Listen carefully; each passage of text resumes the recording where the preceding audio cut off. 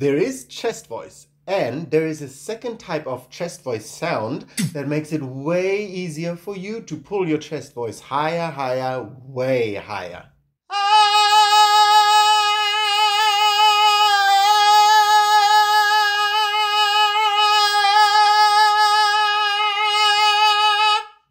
Activity of the cricoarytenoid lateralis muscle makes it way easier to pull your chest voice higher, the chest voice sound, and that is because it doesn't pull against the range muscle. It's not an antagonist to the cricothyroid muscle. Here's the detailed explanation why and how. Hi folks, I'm Voba. I'm a singer and a vocal trainer and this is my channel about anatomical vocal training.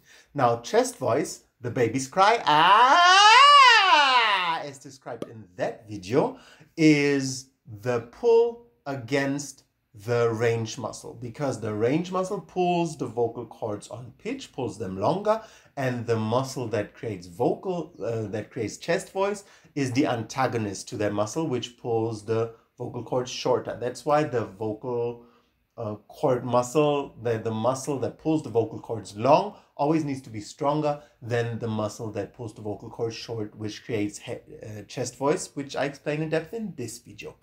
Now, what I want to explain today is there is a type of chest voice that is not a pull against the, the range muscle, and therefore you can carry that way, way higher with that uh, type of sound. Now, it's not really what I would call chest voice because chest voice is literally, in my definition, the pull against the, the range muscle. But it's something that sounds very, very similar to chest voice because it has a different effect because it tenses the vocal cords. Now, what I'm talking about is the cricoarytenoid lateralis. So that muscle is at the at the side of the cricoid and goes to the arytenoid cartilages, and it kind of like when it contracts, it kind of like closes the vocal cords because it tilts the arytenoid cartilages towards one another. Now that's a different close than when the arytenoid cartilages move towards one another right? It's more like a twist of the arytenoid cartilages. And therefore, when the arytenoid cartilages are closed already, and then you pull this, this muscle, you activate that muscle, what happens is that when they're closed, then they kind of like rotate inwards, and then they just uh, tense the vocal cords more so that the vocal cords clap harder against one another. And clapping harder against one another means they close longer than they open um, which I explain in depth in that video, why that, you know, is, is uh, has a louder effect. Um, and they clap harder against one another. And uh, therefore, it sounds much more like chest voice. Now, here is the difference.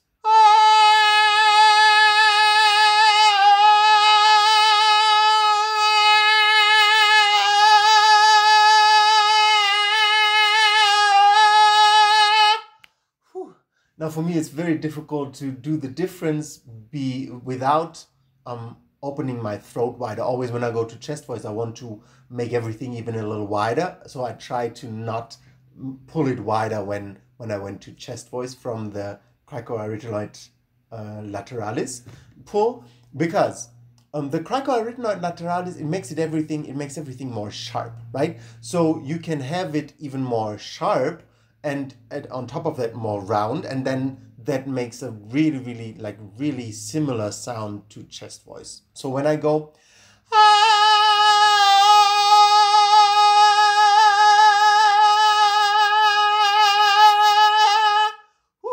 Um, you see how I pulled it wide, but then I lost the, the sharpness a bit, and then I put it back in there, and then I lost it again, and I put it back in there. So the, that is the, the lateralis together with a bit more wideness. And that makes it the, your voice really sound like chest voice right? In in comparison to ha! which would be chest voice. Um and then I'll I will make another video also about chest voice being less sharp but just like a duller type of chest voice which you leave the vocal edge, the interior vocal edge out. Vocal edge, interior vocal edge, I explain in depth in this video. Um, but for now, um, I just wanted to get the point across that you can learn and you need to firstly go through all my um, entire playlist and to really learn these little um, muscle motor skills uh, in order to be that advanced because it's a very advanced thing right to to have even the difference between uh, lateralis and chest voice is for like super advanced people.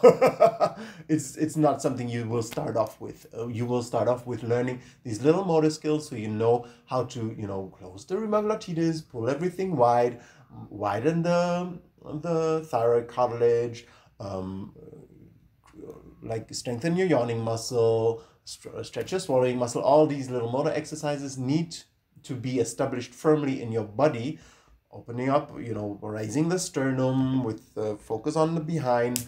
All these little exercises are so essential for you to even remotely be able to hear the difference between chest voice and vocal edge and then make a difference between chest voice and cricoarytenoid lateralis action. Because you will feel that with the lateralis, ah,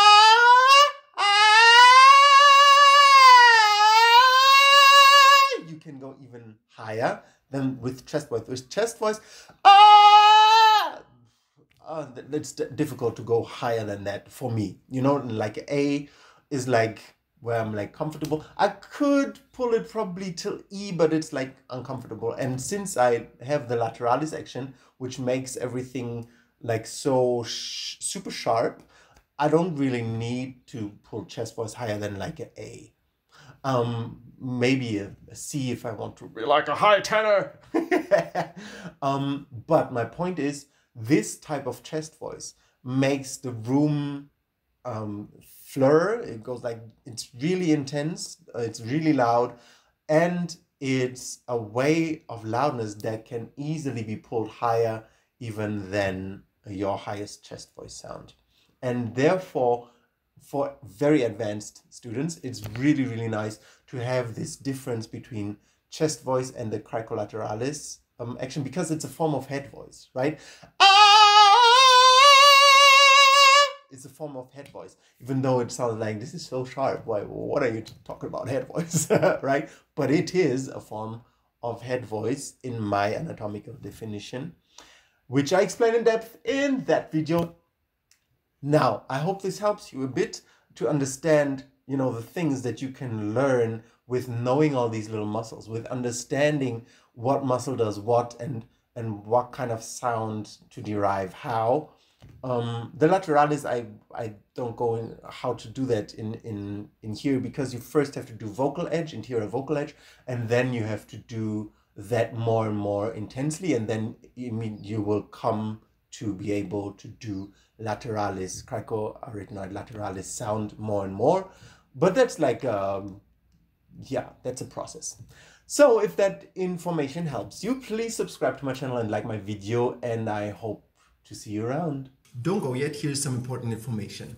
If this is all a bit out of context for you and you don't know quite how to put all of this together, I have created a playlist. A playlist of the full anatomical vocal training uh, so that you understand from beginning to end you know where it starts why this muscle why that muscle because some of the videos that i'm doing out of context they might be like why are you doing this right so if you go to my channel you will go to the playlists and then you will find the full anatomy playlist uh, right there and it has everything from start to beginning why to stretch what muscle groups how to stretch them why to begin there what to do. So it's kind of like a chronological order so that you can really have a full understanding of the whole thing that I'm teaching here. So check it out. I see you over there.